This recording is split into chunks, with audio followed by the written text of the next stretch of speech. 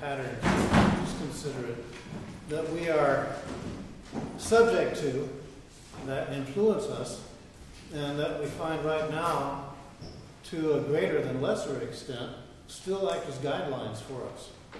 And what I'd like for you to specifically look at today is the judgment beliefs and patterns that we as humanity embrace and live as if it were our natural style of doing things. Right here, in this time and place, consider what you have grown up with, that you have been made subject to, that constantly influences you, especially when you avail yourself to that influence. Consider number one television. Yes!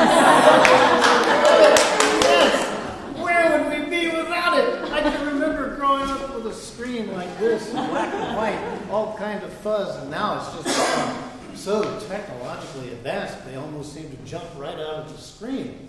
But notice what they jump with. Huh. So, from movies to sitcoms to commercials to sports all of it is given to us to program us of how to be, who to be, and why to be, how to be, who to be. And it all comes down to we are constantly being influenced in ways of judgment. Judging ourselves, judging each other. Oh, and by the way, we just happen to have, fortunately, two mirrors. Would you please take a chance and look at yourself? I know that's scary. Take a chance. Look at yourself right now. No, I mean it. Right now. Look at yourself. Look at yourself. Go up there. That's right. Take the time out do it quickly. Go up there. Go up there. Take a look at yourself. And then come right back. Yes, yes, yes.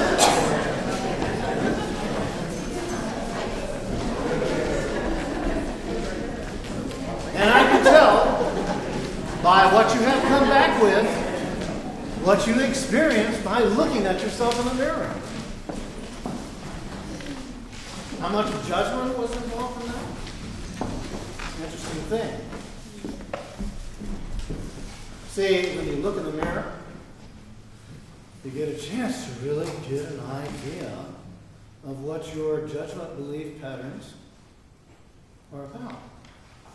And when you do that, consider are these loving thoughts that you have toward yourself and Creator?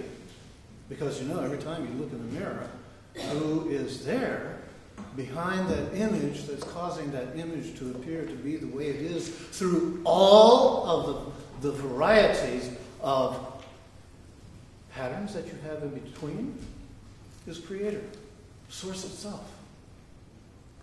Because you see, an interesting consideration as you begin to look at this begins to dawn upon you, and that is you are creator experiencing itself as you. Your source experiencing yourself as you. So your beliefs, your attitudes, your judgments are all the filters that you're seeing through. But most of the time, we don't really see through them. We only see them. That's about as far as we get. Fascinating that approximately 2,000 years ago, somebody who came gave to us some very interesting considerations. And one had to do with judgment. Because it was stated that he put, proposed it this way Judge not, that ye be not judged. For with what judgment you judge, you will be judged. And with what measure you meet, so shall it be measured to you again. Now, this seems to put it into different tenses, which is excellent, because you go from a present tense to a future tense, and you're considered there involved in a past tense. But all of it, if you look at it, you see we're talking about you have to have that energy up and running first as a projection that then releases itself and reveals itself as judgment. So, whatever you're judging with regard to somebody else, oh my God, you look like hell today. You really don't take that person because you don't. You see, that's the fact of the matter. But to use that as an illustration, that was my projection that reveals me automatically experiencing that set of vibrations. So if you want to change it, then you have to pay attention. And you see, you can change it because then you get into another realm altogether that begins to exit judgment. You begin to look at life and experience life as another part of you who kind of stand back, stands back and watches the observer. You begin to experiment with what observing really is all about. And you see, your heart knows the difference between judgment and observing. All you have to do is go to your heart. And if you find yourself in a place of judging, hmm, boy, I would really like to you have it. You can go to your heart, and your heart will say, hey, it's okay. Lighten up. Begin to generate love.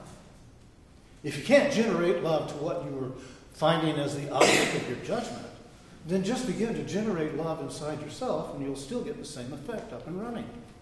Because you see, your heart does know the difference. Now, all of us have these experiences all the time of finding ourselves in judgment. Some who seem to be exempt from this are a lot of people who've had near death experiences. Because, see, the nice thing about a near death experience, even though it's kind of inconvenient, interrupting the natural flow and rhythm of your life. Sometimes what happens is you have one of those life reviews. And in the life review, all of your filters are removed. And you begin to experience the experience as it actually happened. Not only what you said, but the effect of what you said had upon another. Then you begin to get a little better feel for the realization, geez, we really are connected. And geez, we really do affect one another. Generally speaking, if a person has this type of an experience, they'll refrain from judging. And the reason is, is because they'll see it as a, a no brainer to let it go. Now, if you take that personally, that I'm in some way insinuating, or perhaps even going to the point of insult, take it any way you'd like. it's okay. Because you see, all of those things are going to bring up different aspects of your own judgment about yourself that seem to be coming from me, but really are just a reflection of you, how you behold your own being. Okay. So if we move along with this, then we're also going to have maybe not so dramatic as a near death experience, but we'll have life give us these other opportunities to have a look see. And they will usually come about in very similar ways, in that we have these really inconvenient things happen to us. I mean, just how inconsiderate of life to dump on us in such ways that it does. But somewhere along the way, life also has in store for us an attending realization that when the right moment of our receptivity reveals itself, bing, there it is, and it shows itself as a blessing in disguise. A blessing in disguise. Now, usually we think of that as however we think of it, until it happens to us. And then we begin to realize that life, source, creator, God is always aware of us and is there to help us in our awakening to who we truly are. I think of the countless numbers of blessings that have occurred to me, and some of them certainly were in disguise where when they first happened, oh man, I was right there raising all kinds of Cain about it. I was upset. I was blaming this person. I was blaming that person. As a matter of fact, I blamed all of them because it was her fault. but then, you know, the difference is, that when I recognized it as a blessing in disguise, I didn't give you any credit at all.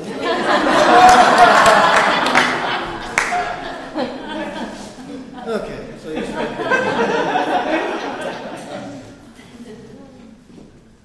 You know, that seems to be like perhaps a next increase in appreciation is looking at others who are involved in things and realizing they are a blessing. Even if they're a pain, they're a blessing.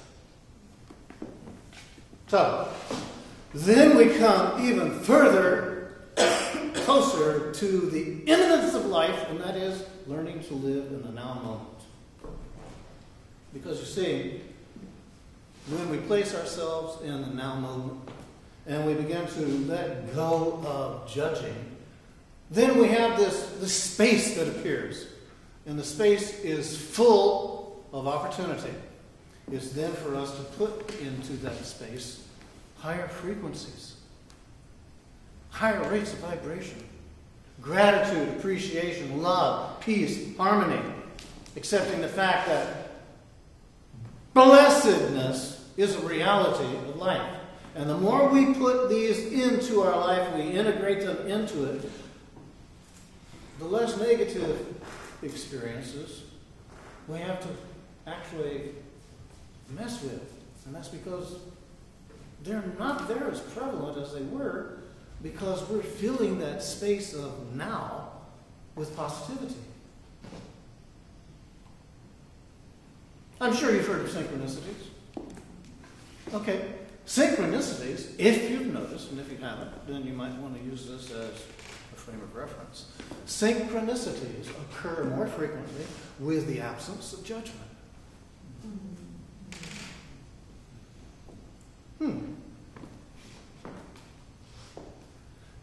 Could it be the universe's way of saying that you're on the right path? Could it be the universe's way of saying you're connected? Could it be the universe's way of sending you a confirmation as to what you are generating? And I, you know, that's just another way of saying what you vibrate, you are going to have come back to you to show you what you are vibrating. You don't like what you get, then change what you're generating. Move away from judgment. And, oh my goodness me, a big, big, big space opens up, full of promise. So, you know those veils that kept us entrained to judgment? They begin to tear apart. They begin to actually disappear. And we begin to see the bigger picture. By golly gee, we are all connected. Here's just a finishing consideration for you. Imagine if we all treated each other as we would like to be treated, with respect and love, and without judgment. How will the world be?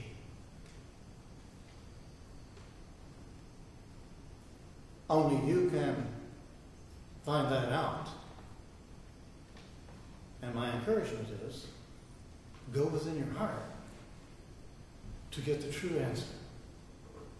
It's there because it's you. Thank you.